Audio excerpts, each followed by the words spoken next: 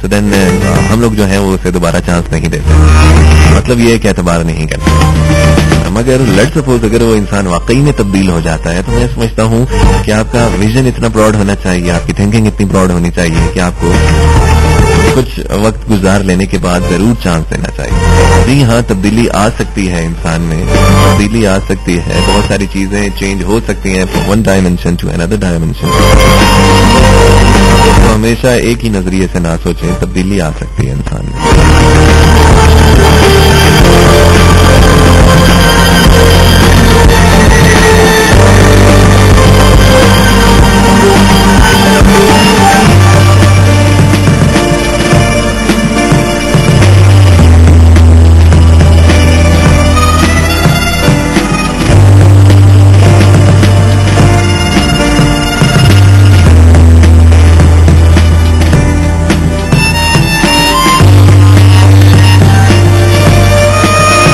شفا نے ہمیں کال کیا، Shifa thank you so very much for your participation آپ نے کہا، احمد جہاں زید کو پروگرام میں شامل کر دیں، خدا اور محبت ڈیڈیکیشن ہے آپ کے منگیتر کے لیے.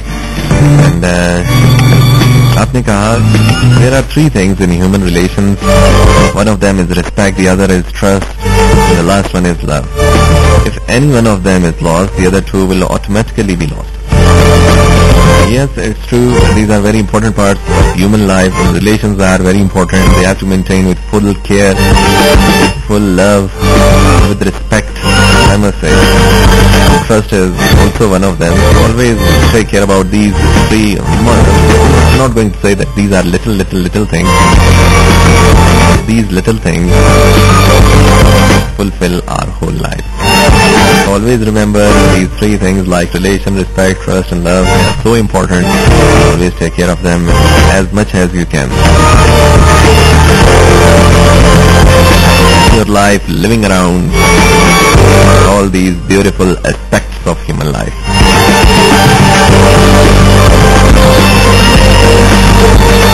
It's human nature. Cannot deny the importance of all these. Yes, true. We cannot deny them. Fatima Khan نے کال کیا اور uh, رشیدہ خان نے، آپ نے کہا، کوئی سا بھی سانگ پروگرام میں شامل کر دیں the choice thank you so very much Fatima Khan and Rashida Khan آپ کی پارٹیسپیشن کا بہت بہت شکریہ uh, میرا بیک گراؤنڈ ختم ہو چکا ہے لیٹ می ریفریش اوکے کیا زندگی ایک درد ہے جسے بانٹا جا سکتا ہے کہا جاتا ہے کہ نصیب سے بڑھ کر نہیں ملتا تو انسان اپنے نصیب سے زیادہ کیوں چاہتا ہے؟ سلام ان دعا وعلیکم السلام. جی thank you so very much Lubna Khan, آپ کا آنسر کرنے سے پہلے سچی بات یہ ہے کہ اس ٹائم میں کمپلیٹلی ایگزاسٹڈ ہوں اور آپ انرجی کا لیول خود ہی چیک کر سکتے ہیں۔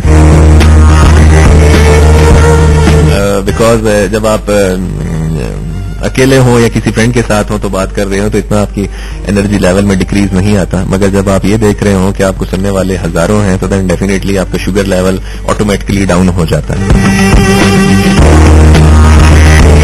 اچھا جی secondly now coming towards your answer کیا زندگی ایک درد ہے جسے بانٹا جا سکتا ہے؟ well, زندگی میں خوشیاں بھی ہیں آپ ان خوشیوں کو ان نعمتوں کو کیوں نہیں دیکھتے؟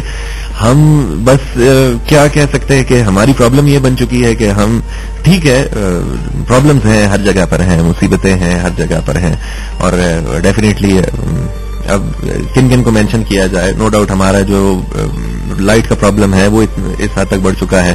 آپ کی نیند پوری نہیں ہوتی، آپ جو ہے وہ ہمیشہ غصے کا شکار رہتے ہیں بلڈ پریشر ہائی رہتا ہے، اور وہ افیکٹ کر رہا ہے آپ کو۔ اور یہ جو ٹیمپریچر رائز ہے دین ڈیفینیٹلی یہ بھی ایک پرابلم ہے۔ بہت سارے اور بھی پرابلمز ہیں، مہنگائی ہے، دوسری، تیسری چیزیں جس سے مختلف لوگ جو ہیں وہ افیکٹڈ ہیں۔ تو آپ کو وقت، وقتاً فوقتاً ہم نان اسمائلنگ نیشنز میں جو ہیں وہ انٹر ہوتے چلے جا رہے ہیں۔ مگر آپ دیکھیں کہ بہت ساری ایسی بلیسنگز ہیں آپ پر. لیٹ سپوز میں کچھ دن پہلے یہی ڈسکس کر رہا تھا اور میں اگزامپل دے رہا تھا کہ ہمیشہ جو ہے وہ انسان کو اللہ تعالیٰ کا شکر ادا کرتے رہنا چاہیے. ہر حال میں اللہ تعالیٰ کا شکر ادا کرتے رہنا چاہیے. انسان کو یہ دیکھنا چاہیے کہ لیٹ سپوز آپ کے آپ کسی پرابلم کا شکار ہیں، کسی درد کا شکار ہیں. بہت سارے ایسے لوگ ہوں گے جو جن کا درد آپ کے درد کے سامنے کوئی حیثیت نہیں رکھتا۔ وہ اتنے پرابلمس کا شکار ہیں اتنے پرابلمس کا شکار ہیں کہ وی کی ناٹ امیجن ہمیشہ اللہ کا شکر ادا کریں۔ بہت ساری نعمتیں ہیں آپ کے پاس۔ آپ ٹھیک طرح سے بول سکتے ہیں۔ تو بہت بڑی نعمت ہے۔ دو اٹ از کامن بہت سارے لوگ ہیں جو نہیں بول سکتے۔ آپ دیکھ سکتے ہیں all right it is common but بہت سارے لوگ ایسے بھی ہیں جو کہ نابینا ہیں، جن کی بینائی نہیں ہے، جو سن نہیں سکتے، جو چل پھر نہیں سکتے۔ تو ہمیشہ اللہ تعالیٰ کا شکر ادا کرتے رہے۔ اینڈ ڈیفینیٹلی اگر تو میں آپ کی اگر آپ کو لگ رہا ہے کہ میں آپ کی بات کو ٹھیک طریقے سے نہیں سمجھ پا رہا یا نہیں سمجھا پا رہا، تو واقعی میں اگر for example there is any problem then لوگ جتنا آپ بانٹیں گے وہ اتنا کم ہوگا۔ کہتے ہیں ایک بہت ہی اچھا ایس ایم ایس مجھے ریسیو ہوا تھا اور ہم دوسرے تیسرے ایس ایم ایس جو ہیں وہ ضرور کرتے رہتے ہیں اور جو یہ بھی ایک قسم کا میڈیم ہے جس سے ایجوکیشن کو پھیلایا جا سکتا ہے۔ اور کچھ اس طرح سے کہتے ہیں کہ کسی محفل میں ایک انسان کوئی لطیفہ سناتا۔ اور جب اس نے لطیفہ سنایا تو بہت سارے لوگ اس پر ہنستے ہیں۔ وہ وہی لطیفہ دوبارہ ریپیٹ کرتا ہے۔ تو اب جو ہنسنے والوں کی شرح ہے وہ بہت کم ہوتی ہے۔ تیسری دفعہ جب وہ لطیفہ سناتا ہے تو اس پر کوئی بھی نہیں ہنستا۔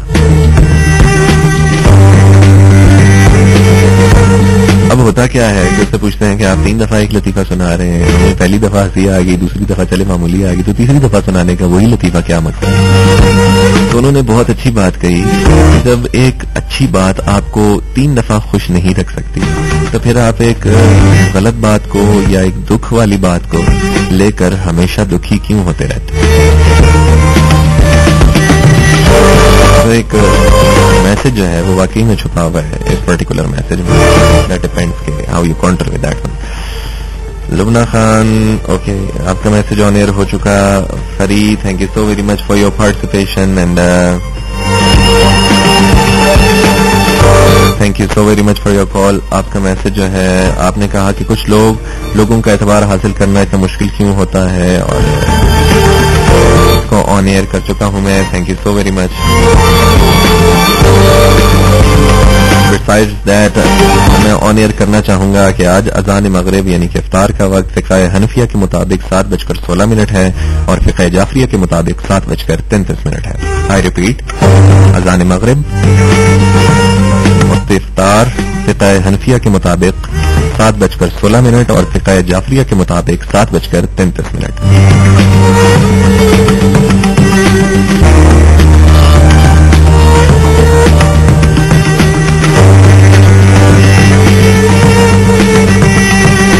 نے کہا، آج کا شو بھی پچھلے تمام شوز کی طرح بہت زبردست رہا۔ بہت بہت شکریہ پروگرام کو پسند کرنے کا اینڈ اٹس لائک بس کچھ اچھا کرنے کا مقصد ہے، کچھ اچھا کرنے کا، کچھ اچھا کرنے کی سوچ ہے۔ اینڈ دعا یہی ہے اللہ تعالیٰ سے کہ اللہ تعالیٰ میری دل، دماغ اور زبان کے تالے کھول دے تاکہ میں لوگوں تک ٹھیک طرح سے بات پہنچا سکوں۔ چاہے وہ میرے لسنرز ہیں، چاہے وہ میرے اسٹوڈنٹس ہیں۔ ہمیشہ دعا یہ مانگے کہ اللہ تعالیٰ میرے لیے یہ دعا مانگے کہ اللہ تعالیٰ میرے دل، دماغ اور زبان کے تالے کھول دے۔ تاکہ میں اچھے طریقے سے بات کو ایکسپلین کر سکوں، لوگوں تک پہنچا سکوں۔ اپنا بہت خیال رکھیے گا، دعا میں ضرور یاد رکھیے گا۔ اپنے پریزنٹر تارک اکرم کو if and only the capacity of growth exit be meeting you in my next show till then take very special care of yourself programme کے دوران اگر کوئی بات آپ کو